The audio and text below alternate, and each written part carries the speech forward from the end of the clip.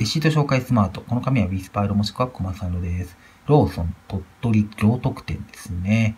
はい。えー、2020年3月7日に、えーと、これは、あれですかね、発泡酒ですかね。合計220円です。この紙はウィスパイロもしくはコマサイロです。それでは。